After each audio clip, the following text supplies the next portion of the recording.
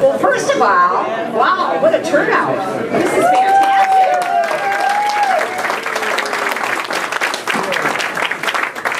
This is how we get to victory in God. November. Yes. Well, I'm former State Representative Mary Valentine, and um, I just want to welcome you here today.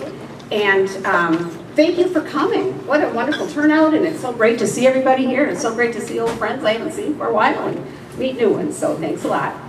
Um, I'm going to say a few words about Tanya, but first I'd like to take a minute just to introduce elected officials and people who are running and notable guests that we have here today.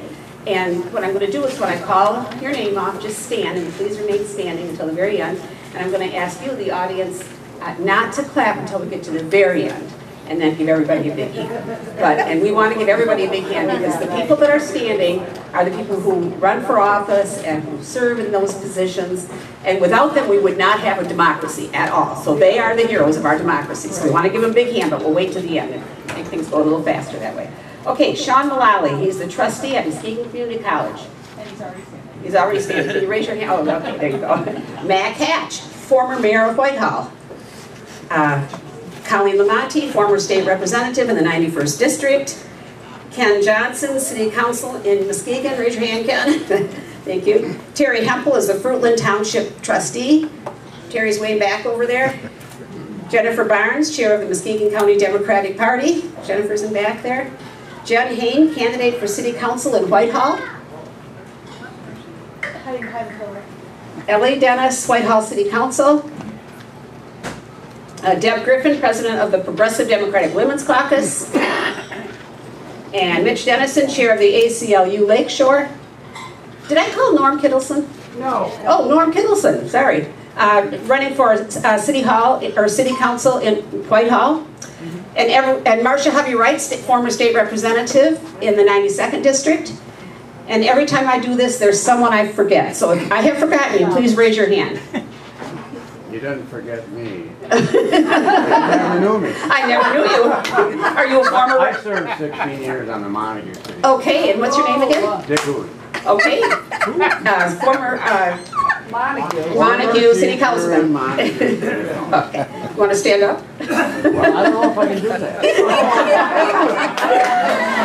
Okay, let's give them all a nice big round of applause.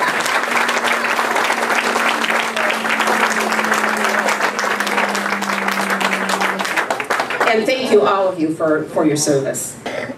As we all know, we're currently facing some rather large and unique challenges.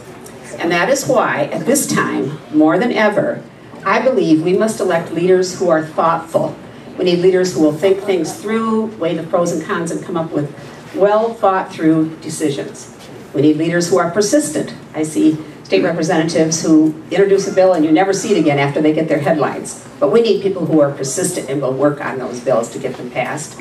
And we need people who truly care about the, um, about the people that they're serving. So they'll make, uh, so that they will make legislation that will help those people. And that is exactly what we have in Tanya Cabala, which is why I have chosen to be on her team and support her. Um, those are the things, those are the qualities I think we need right now, and that's what we have with her.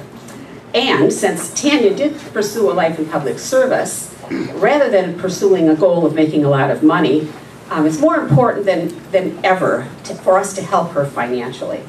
Um, she will need to purchase yard signs, um, mailings. She'll need money for mailings. There'll be, she'll need a headquarters, a staff. All of these things cost money. Now, all of us wish there was no such thing as needing money in politics, but without being able to use all those tools, it would be very difficult for anyone to win. And there's not just one, some big pot of money somewhere that when you're running for office, people just give you all this money. And I've run for office, and I know this from a fact, for a fact. There just isn't that. It just starts with friends and neighbors and people who want to see someone be elected to that post, give whatever we can. And everybody has a different level that they can give, but all of us can pitch in. So before we get started, before I introduce the other speakers, I'll just kick it off with my own contribution. I'm going to contribute $100 uh, right now, and then I'm going to do that every month until I get my $1,000 in. So here's a, here's a contribution.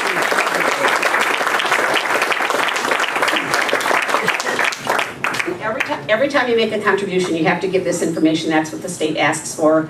uh, so that they, so that we all know who's giving money to a can- candidate, so. yeah. that- 飛行